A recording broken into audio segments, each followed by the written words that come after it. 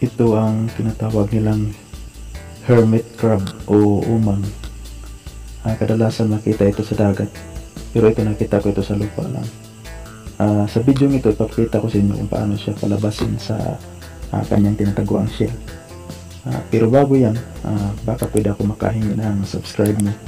At pakihit na lang din ng notification bell para ma-notify ka sa mga susunod nating ah, mga video.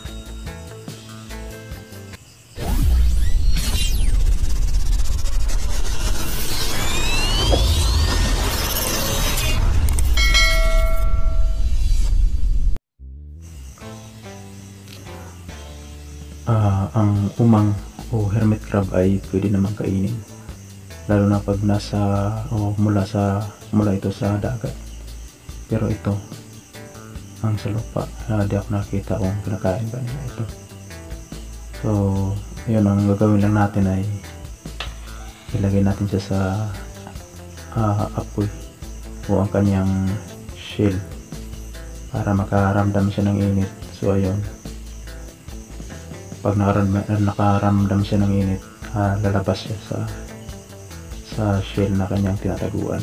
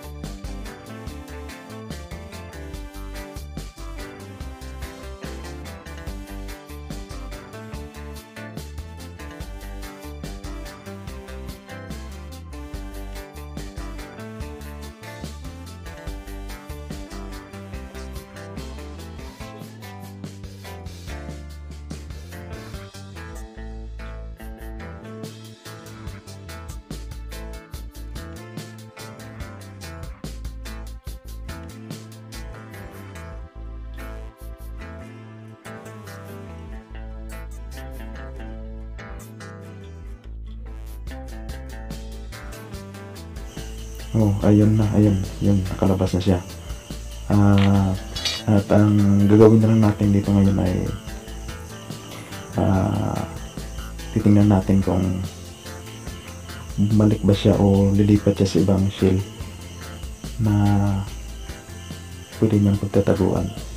So ito ang kanyang shell na nilabasan. Ngayon may ibang shell.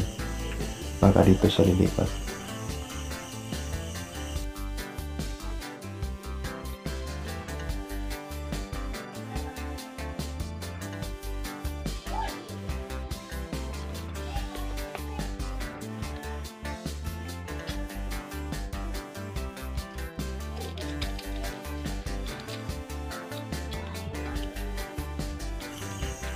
So, yan ito ang kanyang itsura. May ang bali pinakabuntot niya ay malambot. So, ayun. Dapat maprotektahan kaya pumasok siya ng mga shell na walang laman para maprotektahan ang pinaka lambot ng bahagi. So, ayun. ah hmm, parang gusto niyang pumasok ulit sa ibang shell para may meron siyang pagtataguan ulit.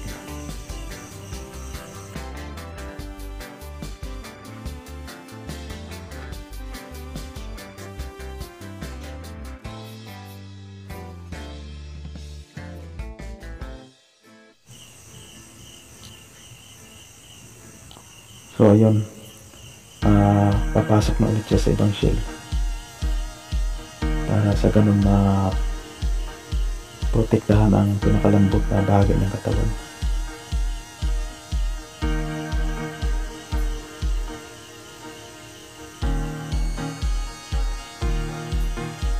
Ayan na. Nakapasok na.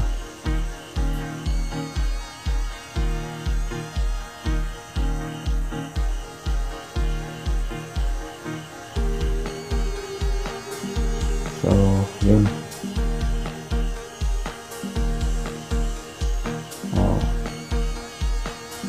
Nakatawid siya. So, yun nakita niyo guys ah, nakalipat na siya ng ibang shell. So salamat sa panonood. Hanggang sa muli. Nating video